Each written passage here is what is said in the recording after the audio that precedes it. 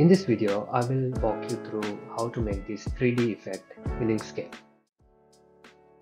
First of all, select the text tool and type in something, change the font. I'm using Archivo.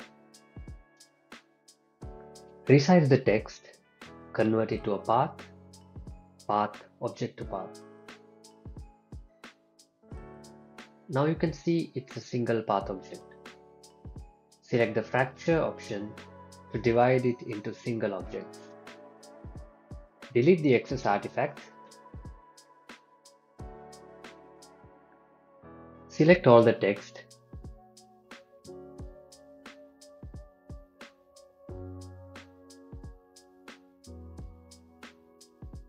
Give it a fill color of white and a black stroke of 5 pixels.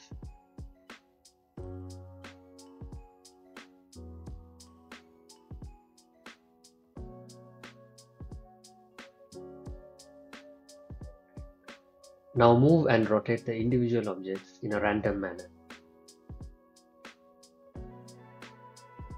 I'll speed up this process.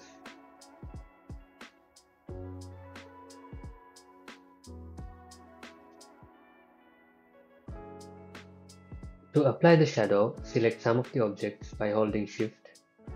Go to extensions, generate from path, long shadow. Make sure you have selected the fill shadow with stroke option so that the shadow will be the stroke color. You can toggle live preview to view before applying. You can select the shadow length and the angle. Select the remaining letters and apply the shadow with a different angle.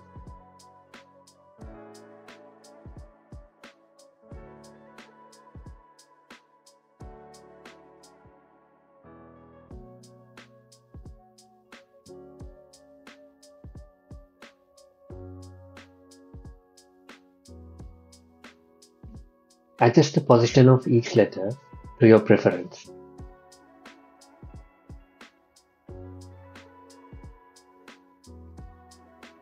This is how you create this 3D effect in Inkscape. Hope you learned something today.